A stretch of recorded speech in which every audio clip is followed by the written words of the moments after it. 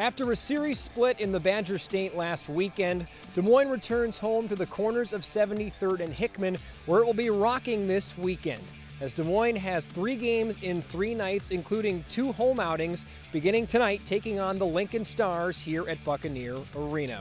Let's get you set for all three of this weekend's matchups on our Bucs TV weekend preview.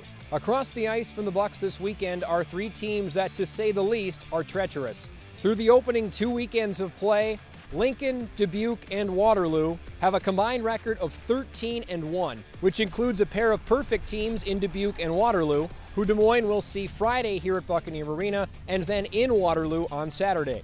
There's no hiding the difficulty of this weekend, but head coach Peter Mannino knows that these three games could be a huge barometer towards finding out what this Buccaneers team is made of. We want to win.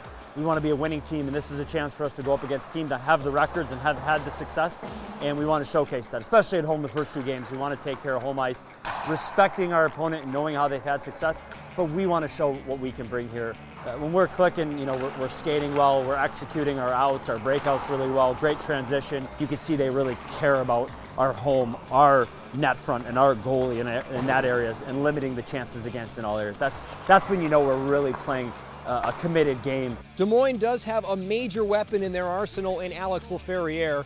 Laferriere's 11 points in his last three games played has him tied atop the USHL lead in scoring. Laferriere played a handful of games for the Bucs in the 18-19 campaign and says that's played a big component in his hot start.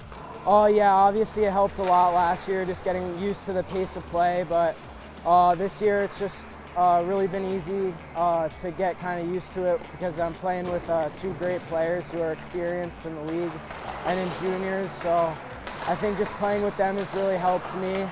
Just kind of getting used to the pace and quicker decisions and stuff like that. We're live on the Buccaneer Broadcast Network of Hockey TV and MixLR for all three games this weekend including Friday's matchup with Dubuque, which is the USHL game of the week, meaning you can stream for free on Hockey TV.